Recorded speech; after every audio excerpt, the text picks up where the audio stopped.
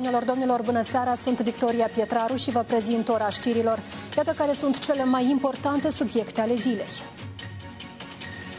Percheziții de amploare într-un dosar de cumpărare-vânzare ilegală a imobilelor. Cine sunt implicați în schemă și câte persoane au ajuns pe mâna ofițerilor CNA, vă spunem la știri.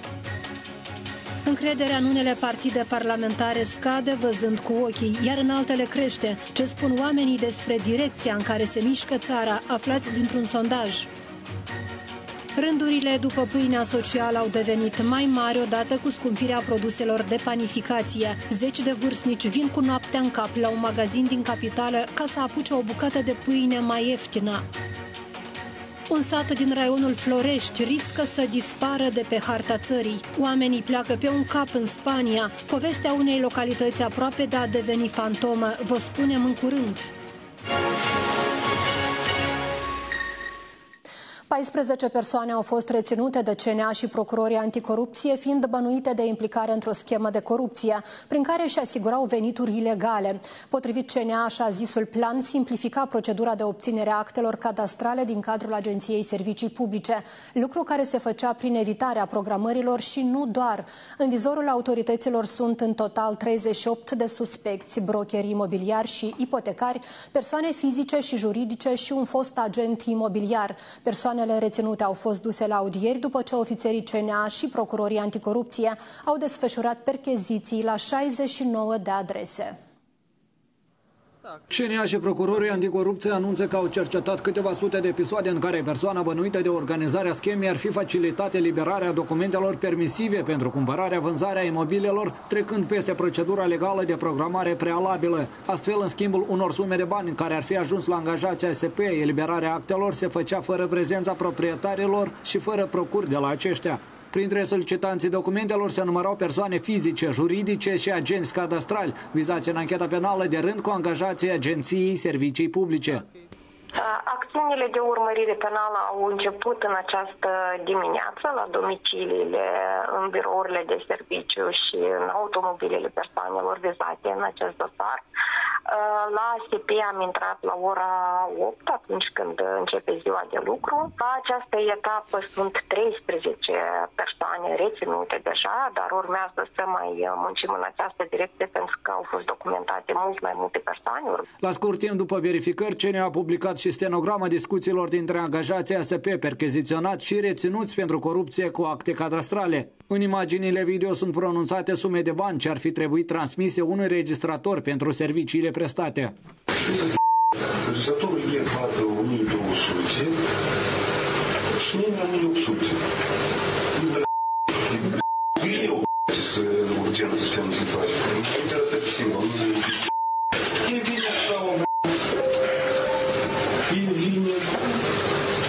Еще что придется. Да. Да, уж вам на мазаре, блядь, я не știi variantele este? Ei vine, ne achită niște, tipă, în 10 și 500 de lei de ceai, n să ajungă la registrator și eu pun tarifele astea. Potrivit CNA, pentru înregistrarea unui contract sau pentru a obține extrasul din registrul bunurilor imobile, se cereau sume mai mari în comparație cu cele oficiale. Din banii obținuți, organizatorul plătea taxa de stat, corupea funcționarii și încasa comisionul. Apelați de noi, reprezentanții conducerii Agenției Serviciilor Publice nu ne-au răspuns la telefon, dar au anunțat într-o reacție oficială că se află în comunicare cu CNA și Procuratura Anticorupție și acordă tot suportul pentru stabilirea persoanelor vinovate. Totodată, Agenția spune că își dorește ca acest dosar de rând cu celelalte pornite de organele Procuraturii și CNA pe abuzurile și faptele de corupție de la SP să ajungă în instanța de judecată. Cele 69 de percheziții au vizat birourile de serviciu, domiciliile și automobilele a 38 de persoane. Suspecții reținuți riscă până la 10 ani de pușcărie și amenzi penale. Tablou macabru pe teritoriul unui depozit de chimicale agricole din satul Răcăria, raionul Râșcani. Acolo a fost găsit cadavrul unui tânăr de 26 de ani care s-ar fi strangulat. Pe corpul bărbatului nu au fost depistate careva semne de moarte violentă. Preliminar ar fi vorba despre suicid. Cadavrul a fost îndreptat spre examinarea medico-legală pentru a se stabili cu exactitate cauza decesului. Polițiștii au fost anunțați despre incident în după amiaza zilei de ieri. Oamenii legii nu au depistat niciun bilețel de adio care să le întărească presupunerile despre faptul că victima și-ar fi luat viața. Prin urmare, motivele care au stat la baza tragediei urmează să fie stabilite în cadrul unei anchete penale inițiată de autorități.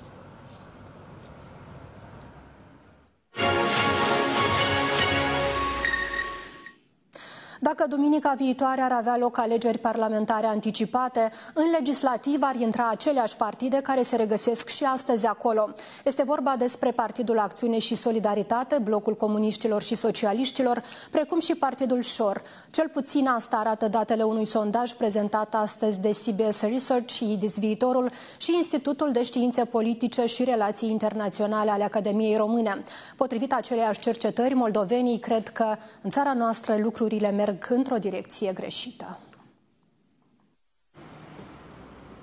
Datele sondajului arată că opțiunile de vot ale cetățenilor s-au schimbat în doar câteva luni de la ultimul scrutin parlamentar în raport cu forțele de opoziție. Astfel, în cazul unor alegeri parlamentare anticipate, PAS și Blocul Comuniștilor și Socialiștilor sunt pe picior de egalitate în preferințele cetățenilor, Partidul aflat astăzi la putere ar obține 37,8% din voturi, iar blocul comuniștilor și socialiștilor 37,7%. În același timp, pentru Partidul Șor s-ar dubla numărul de mandate, ceea ce înseamnă că în dreptul formațiunii condusă de Ilan Șor ar bifa peste 12,5% din cetățeni. Partidul Platforma Da și Partidul Politic, Partidul nostru, nu ar trece pragul electoral. Experții susțin că scăderea ratingului guvernării se datorează acțiunilor din ultima perioadă. Orice guvernare, mai devreme sau mai târziu, are de plătit pentru uh, succese sau insuccese. Noi cunoaștem uh, evenimentele care s-au produs majore uh, și pe fundalul, într-adevăr, așteptărilor exagerate pe alocuri uh, de la o uh, guvernare, tendințele sunt destul de firești. Cercetarea mai arată că președintele țării, Maia Sandu, a scăzut la capitolul încredere din partea populației. Dacă la sfârșitul lunii noiembrie aceasta acumula în cadrul unui sondaj 30,6%, acum șeful statului se bucură de susținerea a 17% din populație. În top urmează Igor Dodon, Ion Ceban, Vladimir Voronin și Ilan Șor, care obțin câte un scor mai înalt decât cel al premierului Natalia Gavrilița și președintele Parlamentului Parlamentului Igor Grosu. Același sondaj mai relevă că 68,9% dintre moldoveni consideră că în Republica Moldova lucrurile merg într-o direcție greșită, iar țara noastră ar trebui să mențină parteneriatul strategic cu Federația Rusă. Sondajul a fost realizat în perioada 4-15 decembrie pe un eșantion de 1055 de persoane, marja de eroare fiind de plus minus 3%. Cu o prezență mică la urne, candidatul independent Nicolae Grigorișin a câștigat alegerile locale din Bălți. La scrutinul de duminică s-au prezentat mai puțin de 10% dintre alegători. Pentru Grigorișin au votat puțin peste 7100 de persoane, iar contra candidatul său, Nicolae Chirilciuc, de la Partidul Patrioții Moldovei, a acumulat ceva mai mult de 1200 de voturi.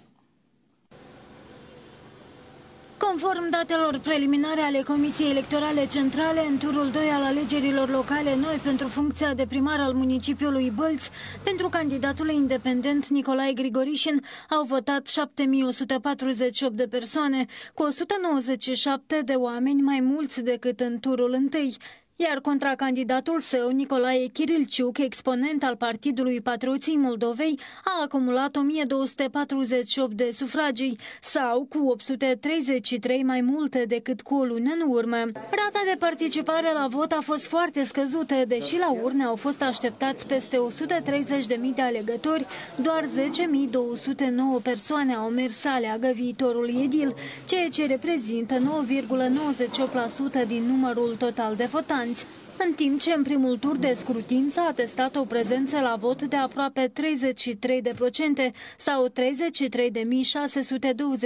de oameni. Mulți dintre cei care au ieșit totuși la urne ne-au spus că sunt dezamăgiți de cele întâmplate, în special de amânarea scrutinului. Acestea sunt cheltuieli mari pentru orașul nostru. A treia oară oamenii merg la vot. Noi nu ne-am așteptat. Oamenii au ieșit la vot, dar acum secțiile sunt goale. Practic, oamenii nu se duc la vot. Ei și-au pierdut încrederea. Da, lumea am s-o, s-o săturat, da, au pierdut nădejdele, au pierdut în toate. De atât așa. Dar trebuie să vii. Alții mai speră că lucrurile se vor schimba spre bine în oraș. Vreau condiții mai bune pentru oraș, să fie frumos și să avem un stăpân.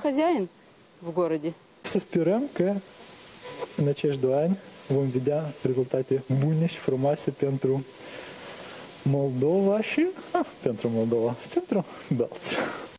Potrivit legislației, turul 2 de scrutin nu are prag electoral, iar învingător devine candidatul care a obținut cel mai mare număr de voturi. Totodată, potrivit Promolex, 1786 de buletine de vot au fost declarate nevalabile. La scurt timp, după ce a aflat despre victoria sa, Nicolae Grigorișin a venit cu un mesaj către bălțeni. Slava Bogu, что Slavă Domnului că totul s-a încheiat cu această victorie clară, orice ar spune foști conducători ai orașului, cei care numără procente. Vă mulțumesc că ați susținut Bălțul, ați susținut lucrurile bune pe care împreună le-am făcut. Turul 2 al alegerilor locale noi pentru primăria Bălți a fost organizat duminică 19 decembrie, după ce candidatul partidului Șor, Marina Tauber, a fost exclusă din cursă după un proces de judecată de 48 de ore, pe care avocații acesteia îl consideră drept o răfuială politică a puterii, acuzații respinse de către Paz și Maia Sandu, iar CEC a declarat că a respectat legea. În primul tur al alegerilor locale noi pentru Tauber au votat aproape aproape 16.000 de oameni, ceea ce reprezintă aproape 48% din numărul total de alegători prezenți la urne. Alegerile din Bălți s-au desfășurat pe fundalul unui protest al susținătorilor Marinei Tauber. Candidatul partidului Șor la această întrecere exclus din turul 2 de scrutin, după ce în primul a acumulat aproape 48% din voturile alegătorilor prezenți la urne. Oamenii ieșiți în stradă au declarat că vor să-și apere alegerea făcută în primul tur din 21 noiembrie. Simpatizanții Marinei Tauber au scandat mesaje împotriva guvernării, pe care au acuzat-o de instituirea unui regim dictatorial, iar conducerea partidului Șor le-a promis bălțenilor că va lupta cât va fi necesar pentru a le fi respectate drepturile.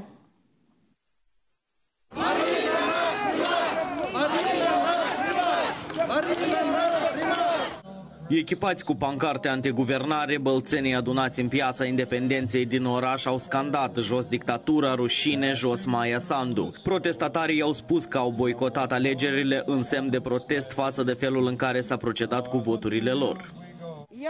Eu sunt pentru dreptate, pentru Marina Tauber. În afară de șor, noi bălțenii nu trebuim nimănui. Aici nu se face nimic. La medic nu mai răzbați. Primăria este închisă, totul este închis. Iar ei își organizează alegeri. Oamenii au venit pentru a apăra dreptatea pe care nu o avem. Eu am fost și am votat pentru Marina. Nu este corect. Dacă ea a câștigat 48%, atunci trebuia să o lase, nu să o excludă. Marina Tauber a declarat la rândul ei că alegerile din 19 decembrie sunt nelegitime, iar pe primarul ales l-a numit nereprezentativ. Ea a mai declarat că acesta reprezintă doar interesele guvernării, pe care a numit-o uzurpătoare și despre care a spus că și-a bătut joc de votul oamenilor. Noi vă mulțumim foarte și foarte mult, până la pământ, pentru susținerea noastră care ne-a fost acordată în primul tur și din primul tur, din turul acesta, noi ne considerăm echipa care conduce municipiul Belți. Dar eu mă consider primarul dumneavoastră, legal ales. Președintele partidului Șor, Ilan Șor, le-a transmis bălțenilor că echipa sa este gata de luptă pentru a-și onora promisiunile electorale. Чего нам бы это не стоило? Oricât ne va costa, cât de aprigă ar fi această luptă pentru noi, vom merge până la capăt. Noi vom face ca Bălți să devină un oraș de vis pe care și-l doresc oamenii. Dragi prieteni, noi astăzi boicotăm acest cinism, fără de legile și umilința oamenilor. Purtătorul de cuvânt al președintelui Maia Sandu a declarat că nu va comenta acuzațiile aduse în cadrul protestului, iar primarul ales nu a răspuns apelurilor și nici mesajelor noastre. La Bălți s-a testat cea mai scăzută prezență la vot din istoria Republicii Moldova. Este concluzia misiunii de observare Promolex, care a monitorizat alegerile locale de duminică. Totodată, instituția insistă pe faptul că este necesar de clarificat prevederile din codul electoral cu privire la suspendarea și reluarea turului 2 de scrutin. Se arată într-un comunicat de presă. Potrivit directorului de programe al Promolex, Nicolae Panfil, la batere au fost înregistrate la câteva secții de votare deschise duminică la Bălți. La una dintre cele opt monitorizate, un observator al unei companii de investigații juridice s-ar fi implicat în procesul de numărare a voturilor, fiind necesară intervenția poliției. Iar într-un alt caz, membrii biroului electoral ai secției de votare nu au întocmit inițial formularul special de numărare a voturilor, după care procesul verbal. Observatorii au mai remarcat și un număr mare de buletine declarate declarate nevalabile, 1786 sau peste 17% din cifra totală. Misiunea mai remarcă că doar 9,98% dintre alegători s-au prezentat la urne, ceea ce pare a fi cea mai scăzută prezență la vot din istoria alegerilor din Moldova. În concluzie, Promolex reiterează necesitatea clarificării prevederilor din codul electoral cu privire la organizarea turului 2 de scrutin. Reamintim că acesta urma să se desfășoare la data de 5 decembrie, dar a fost suspendat la decizie decizia CEC. Această hotărâre a fost luată având în vedere anularea înregistrării unui concurent electoral, care a admis încălcarea prevederilor legale privind regulile de finanțare a campaniei electorale, se mai arată în comunicat. Bălțenii i-au dat duminică o lecție mai Sandu și Pasului și au arătat în fața întregii țări că nu sunt dispuși să accepte bătaia de joc față de ei din partea actualei guvernări. Este reacția liderului partidului Șor, Ilan Șor, la rezultatele turului 2 al scrutinului, la care 90% dintre alegători nu s-au prezentat la urne. Вы можете подмять V-ați subordonat toate instituțiile, procuratura, judecătoriile, Comisia Electorală Centrală, dar nu puteți subordona votul, rațiunea, conștiința și sufletele oamenilor. Ieri bălțenii v-au arătat cine sunteți în realitate, un loc gol. Voi ați făcut praf din votul bălțenilor și ați călcat în picioare dreptul lor de a alege. растерли голос бельчан в порошок. Вы растоптали своими фашистскими сапогами грязными ихние право на выбор. Ilan Șor a mai accentuat că partidul său nu a cumpărat voturi așa cum încearcă unii să speculeze și că Marina Tauber a câștigat în mod cinstit încrederea oamenilor din Bălți.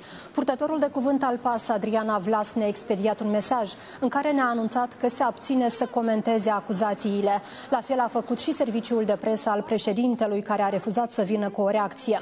Anterior, CEC a declarat că instituția este una apolitică, iar deciziile se iau colectiv, respingând faptul că ar fi controlată politic. Aceeași poziție au exprimat-o procuratura și instanțele de judecată, care susțin că se ghidează de lege, indiferent de candidat sau culoarea lor politică.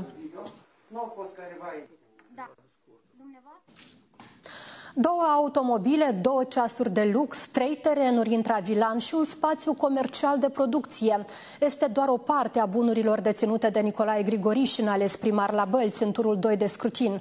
Potrivit declarației de avere, Grigorișin are un automobil de model Mercedes în valoare de 2000 de lei și un Chevrolet de peste 64.000 de lei. Mai mult, el susține că a primit în dar două ceasuri, dar acestea sunt mai scumpe decât mașinile sale, valoarea obiectelor fiind de aproape aproape 100.000 de lei unul și de peste 500.000 celălalt. Totodată, Grigorișin a indicat un spațiu comercial în valoare de peste 2 milioane de lei. Cât privește salariul său lunar primit de la primăria Bălți, unde a fost viceprimar, acesta a indicat pentru anul trecut aproape 247 de mii de lei. Mai mult, el a mai declarat și o indemnizație unică de 16 mii de lei, dar și una în valoare de aproape 10 mii de lei pentru incapacitate temporară de muncă. Nicolae Grigorișin deține o cotă de 100% într-o bază de odihnă din regiunea Odessa, dar și cote părți în două organizații necomerciale la Bălți.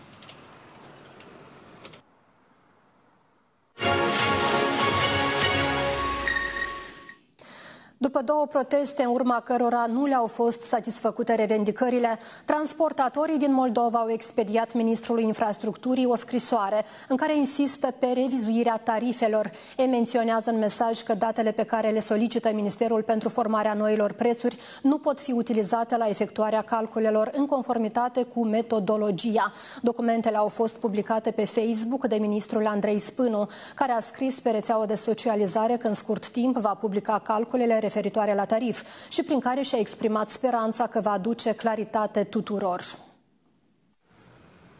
În scrisoarea expediată Ministerului Infrastructurii, transportatorii solicită prețuri noi, mai mari pentru cursele regulate și pentru serviciile de autogară. Totodată ei menționează că datele cerute de autorități pentru formarea noilor tarife, suplimentar la rapoartele stabilite de lege, este o acțiune ilegală.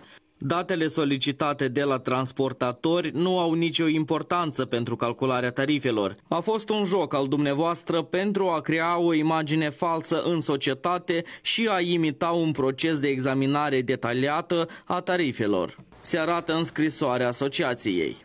Semnatarii scrisorii se mai plâng pe corupția din sistem riscați să puneți pe umerii pasagerilor costurile pe care le provoacă mizeria instalată de ani de zile în transport. Ați spus că problemele trebuie discutate. Multe din aceste probleme devin mai acute, iar schemele ilegale sunt în plină desfășurare, fiind preluate cu succes de către persoanele promovate de dumneavoastră în funcții. Vom discuta public ori de câte ori acțiunile dumneavoastră ne vor părea suspecte, spun cei de la Apota. Președintele Asociației Patronale de Transport Auto, Oleg Alexa, ne-a spus că deocamdată transportatorii nu au primit niciun răspuns la scrisoare. Ei trebuie să stabilească tarif pentru serviciile de transport, tarif pentru servicii de autogar și elimine schemele de corupție. El nu ne-a dat o scrisoare cu procedură suspendată, să numai el înțelege ce face acum. Subiectele ar urma să fie discutate și la întâlnirea pe care reprezentanții executivului o au săptămâna aceasta cu cei ai Asociației Patronale de Transport Auto. Pe de altă parte, ministrul infrastructurii Andrei Spânu a scris pe rețelele sociale că în scurt timp va publica calculele referitoare la tarif și care, spune el, speră să aducă claritate tuturor. Până acum, operatorii din transport au organizat două proteste, la care au cerut dublarea tarifelor de călătorie, de la la 60 de bani pentru fiecare kilometru parcurs la 1 leu și 20 de bani, invocând scumpirea carburanților, a pieselor de schimb, dar și alte cheltuieli. Săptămâna începe cu o nouă majorare de preț pentru carburanți. Astăzi benzina și motorina sunt mai scumpe cu 6 și respectiv 2 bani față de cât era în weekend. Astfel, prețul stabilit de ANRE pentru primul combustibil este de 20 de lei și 35 de bani, iar pentru cel de-al doilea de 17 lei și 24 de bani. Precizăm că regulatorul în sectorul energetic a început să stabilească prețurile maxime de vânzare cu amănuntul a carburanților, conform unei legi votate în septembrie de majoritatea Partidului Acțiune și Solidaritate, iar de atunci cifrele au crescut constant. Acestea s-au redus nesemnificativ pe parcursul lunii noiembrie pentru ca acum să înregistreze un nou salt.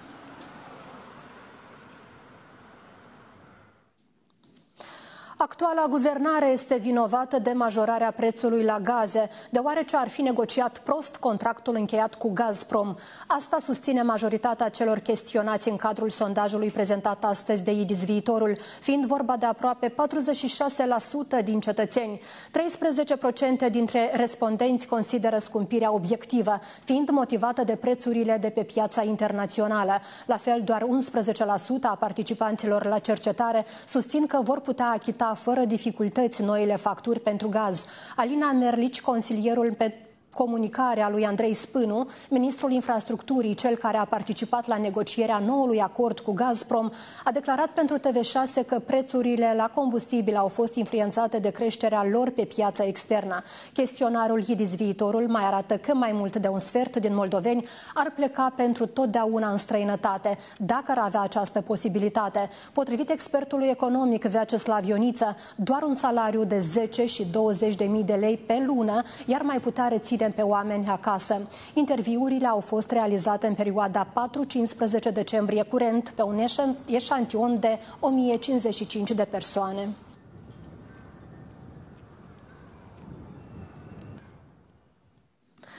Rândurile după pâinea socială au devenit tot mai mari odată cu scumpirea produselor, printre care și cele de panificație. Cumpărătorii nu sunt doar din capitală, dar și din Ialoveni sau Ghidighici. Pensia prea mică și aproape toată merge pentru serviciile comunale, spun oamenii când sunt întrebați de ce pierd timpul în rând sau bat drumuri de kilometri. Ora 6.30, în fața unui magazin de pe strada armenească din capitală, unde se vinde pâine socială, s-a format un rând de zeci de oameni. Deși imaginea pare a fi o amintire a lipsurilor alimentare din era sovietică, totul se întâmplă în zilele noastre. Bara mai stai, că e, e cald, dar am e fric. Dar înghețăm, de ce să facem? La Chișinău de aici aproape. Dar de unde sunteți? La Ghidighici. Căldură plătește de mâncare, să mai e ceva așa, mâncăm și noi mai strâns, mai ieftin. În loc de 6 dau 3 de extra. Este economie, este. La 5 jumate, la 6, dar mai eram aici. Pentru că deși E puțină capică, zarplată e puțină. Dacă e 6 lei, 7 lei un baton, dar atunci cum noi ducem mai departe? Cum o mai ducem mai departe? Dar nu se uită nimeni la noi. Noi suntem iubați, cum eram din vremurile înainte, când eram în Deși de bătaia asta de joc. Îi scot din casă cu noaptea în cap nevoile care se țin lanț din cauza salariilor mici și a pensiilor mizere, spun oamenii. La policlinică lucrăm cu 1600 de lei. Și asta e leafă? De unde veniți? De la Rusăști, noi eloveni. Da. Dăm 30 de lei pe drum și cu 1600 de lei lucrez. Azi dimineața la ce ori v-ați trezit? A, jumătate la 5. Nu unează, nimic. Trebuie să duci pe factorii. Acum cât ați plătit uh, căldura? Căldura am plătit 1800 de lei. Și v-au rămas numai 200 de lei din da, pensie? Da, da. Și ce o să faceți? Cum o să rezistați o lună întreagă? Uite, pensionarii care mor de foame și ăștia nu mai pot de bine și lei, cum în cap la putere, cum gata încep să furi. Se întreabă cât se poate. Oare ei nu văd, ori îți fac chiori, au ochelari de soare, ori ce au La ora șapte, ușile magazinului s-au deschis și oamenii au dat busna. Maxim trei pâini poate cumpăra o persoană. Unii mai și ironizează pe această situație. Camul de bine n-am trăit niciodată. Pâinea socială se produce începând cu 2016. Potrivit Biroului Național de Statistică, față de lunile precedente, prețul pâinii a crescut cu 2,8%.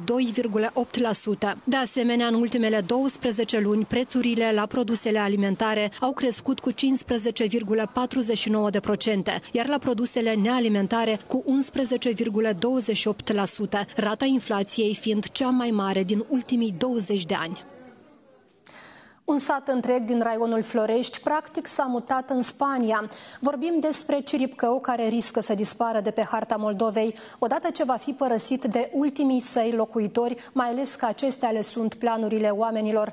De ce au ales conaționalii noștri anume insula iberică și care va fi soarta satului lor dacă mai toți îl lasă și pleacă? Aflați luni la ora 19.30 în emisiunea Moldova la pachet realizată de colega noastră Dorina Macarici.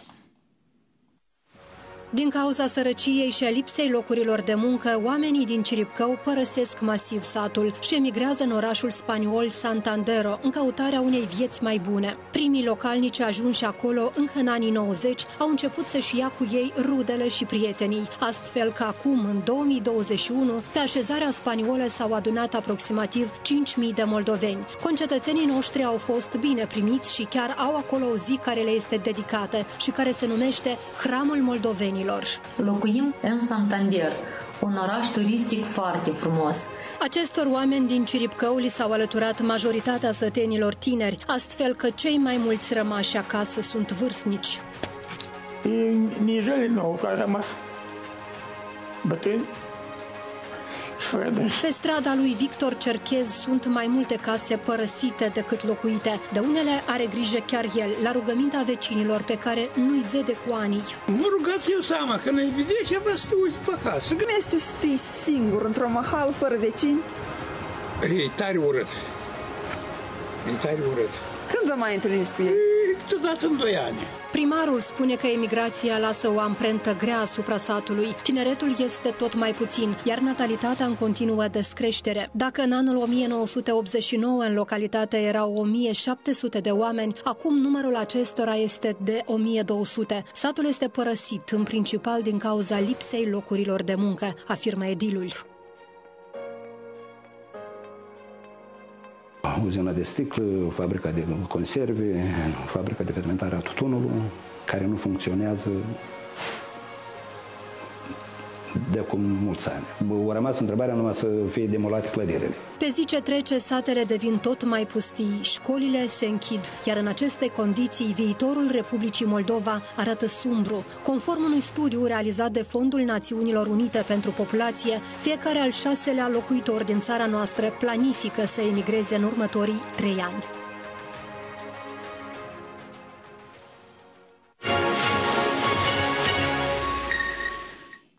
Încă doi martori au fost audiați în dosarul lui Ilan Șor la Curtea de Apel Chișinău, în urma solicitării procurorilor. Acuzatorii au refuzat să stea de vorbă cu echipa noastră de filmare, iar avocații politicianului susțin că au suficiente probe pentru a demonstra nevinovăția clientului său. Eu nu pot să divulg ce a declarat martorii, însă eu consider că situația este favorabilă pentru apărare. Următoarea ședință a fost stabilită pentru data de 23 decembrie. Ilan Șor a reiterat că nu este beneficiarul banilor furați din sistemul financiar și că adevăratul jaf s-a produs după ce a fost înlăturat de la conducerea băncilor, iar guvernul de atunci a oferit garanții de stat de aproape 14 miliarde de lei. Totodată, politicianul a declarat că este gata să se prezinte la ședința de judecată dacă va fi anulat mandatul său de arestare pe care îl consideră ilegal. Dosarul lui Ilan Șor a fost transferat de la Curtea de Apel Cahul la Chișinău în luna august. La câteva zile de la scandalul vaccinurilor expirate, Moldova a mai primit un nou lot de ser anticoronavirus gratuit. De această dată, Franța ne-a oferit 230.000 de doze de Moderna prin platforma COVAX. Termenul de valabilitate al acestora este martie 2022, a precizat secretarul de stat al Ministerului Sănătății. Totodată, Svetlana Nicolaescu nu a exclus faptul că unele doze ar putea ajunge la coșul de gunoi, având în vedere rata scăzută de imunizare în țară. Vom face tot posibil ca factorul de pierdere să fie unul minimal, deși noi cunoaștem că acest lucru este inevitabil și nu se întâmplă doar în Republica Moldova, este uh, un lucru uh, firesc, dar este important să ducem corect evidența acestor uh, pierderi. Potrivit lui Nicolaescu, până acum Moldova a beneficiat în total de peste 2 milioane de doze. Săptămâna trecută, Curtea de Conturi a constatat că 7.000 de doze de vaccin expirat ar fi fost administrate oamenilor. Acuzații respinse inițial de către Ministerul Sănătății, care ulterior a declarat că a constituit o comisie de anchetă și va verifica procesul de imunizare. Totodată, Moldova a început administrarea dozei booster pentru întreaga populație la câteva luni distanță de europeni. Potrivit dat datelor, până în prezent, peste 965.000 de moldoveni s-au imunizat cu schema completă.